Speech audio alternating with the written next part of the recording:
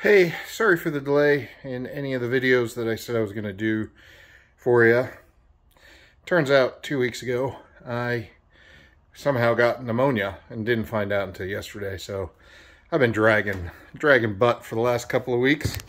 Still took delivery, still been driving around, but uh, been having to take it easy. Um, here she is. Still haven't named her, so if you have any suggestions for names, um, that would be cool. I haven't come up with a name yet. Um, been loving it. Put in over a thousand miles so far on her. Um, best car. Best car ever. Uh, I have had a couple of issues, a few minor things.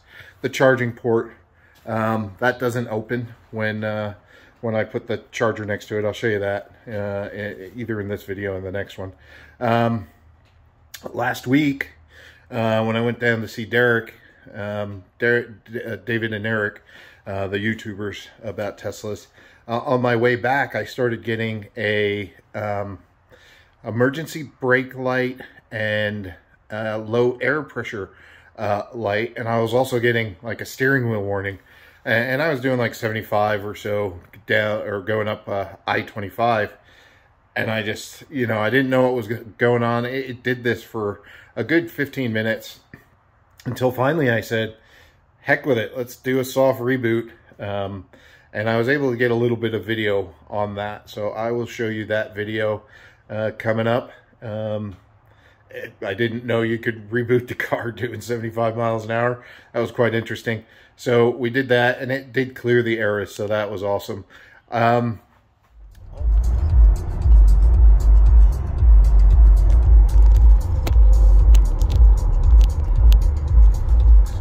brake light on, tire pressure light on, and they keep going on and off.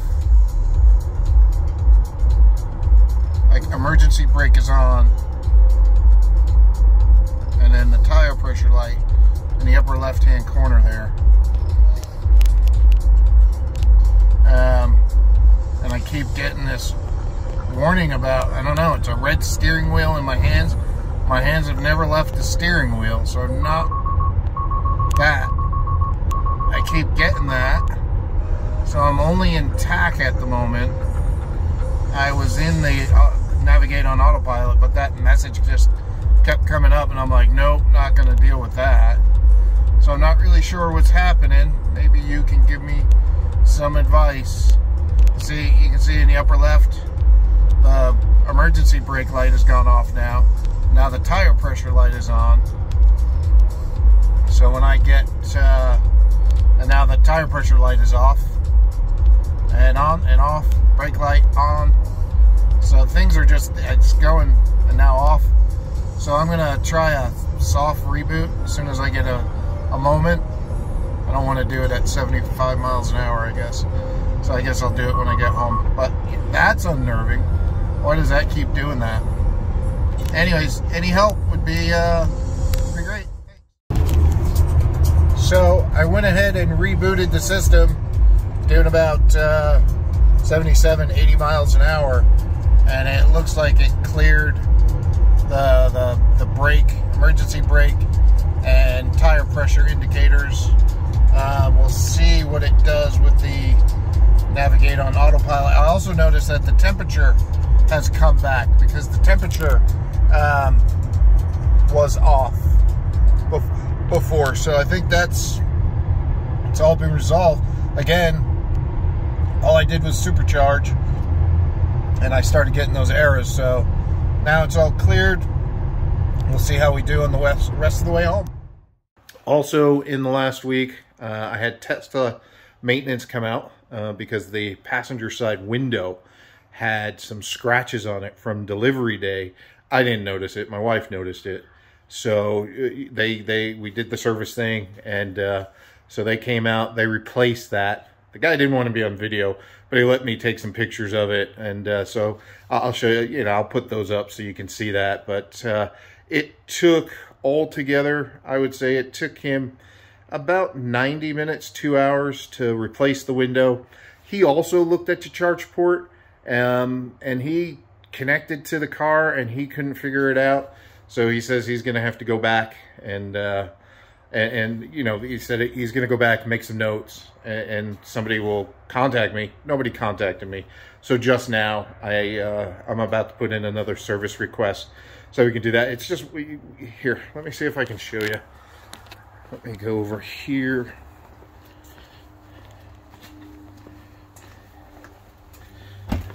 Oop, there you go. So, when I'm charging, let me go right here.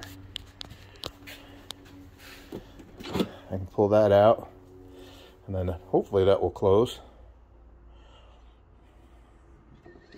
There we go.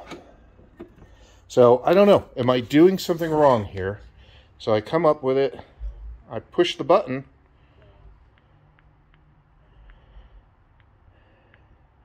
nothing. And I've tried it at a supercharger too, nothing. I thought you were supposed to hit that button right there I press and hold.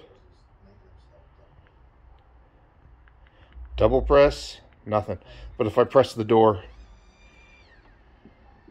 then of course it opens and I'm able to get in there and charge. So yeah, I, am not sure what's going on there. Uh, so I'll work on that. Uh, I'll file a a, uh, a service. So thank you guys for all of that all of those comments. I'll get that going too. Um, and then finally, somebody wanted to see the doors and how they work in my garage. So let me come back here so you can see I have just a normal garage door. All right, so here we go. We'll start with that one. So can it go up any higher than that? Let's see. So if I push it, it goes up higher and it misses that. So that's pretty cool. But let's let's check the other one on the other side.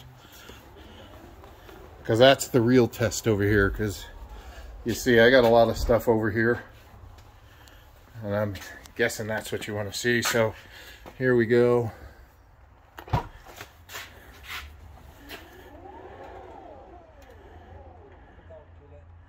So that seemed to work. Now let's see if I push it to go up anymore. Will it do it?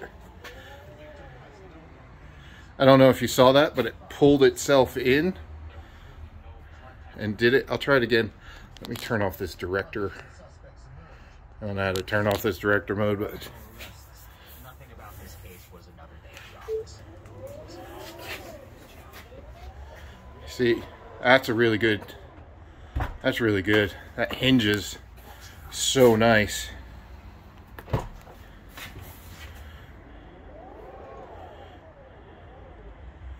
It avoids that. Now watch over here. See, it pulls itself in.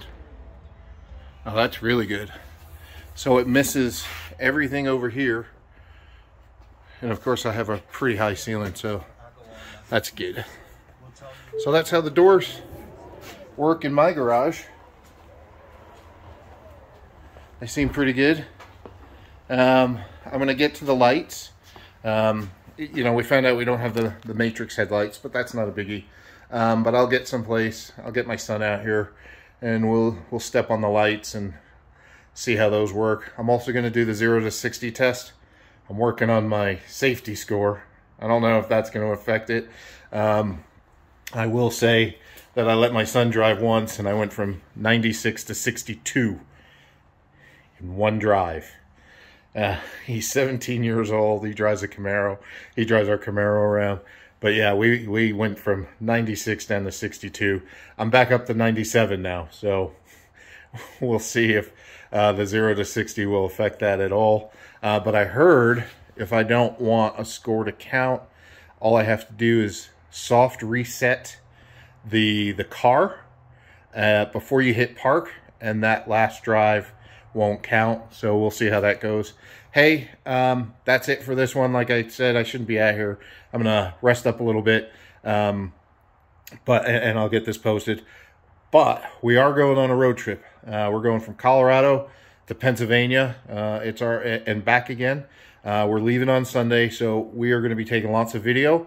Um, so like, uh, comment, give me comments of things you want to see uh, while we're on the road. Like it, subscribe, so you you know you'll get that notification, I guess, when when we're out there. But uh, yeah, we're we're we're going to be on the road in the Model X. Uh, there's going to be four of us in the car. Me, my wife, my daughter, and my my older son. We're going to Chicago University and Carnegie Mellon because uh, he wants to do cybersecurity. So that's going to be coming up next. So if there's anything you want to see while we're on that trip, please let me know. And thank you guys for everything. I really love your comments. Uh, you've made it really worthwhile, and I love sharing this process with you. So have a great day. I will see you soon. Peace.